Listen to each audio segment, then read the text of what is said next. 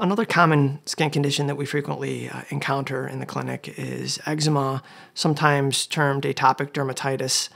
Uh, this is a skin condition in which patients have scaly red, very itchy patches and plaques, uh, commonly covering the extremities, sometimes the trunk, even involving the face at times.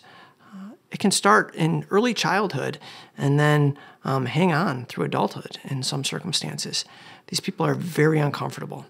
Uh, therapies typically involve the use of topical agents, um, skincare regimens that include the avoidance of fragrances, allergens, potential irritants.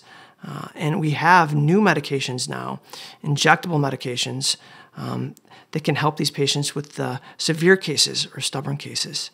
Uh, so we've made a lot of headway as far as atopic dermatitis or eczema is concerned.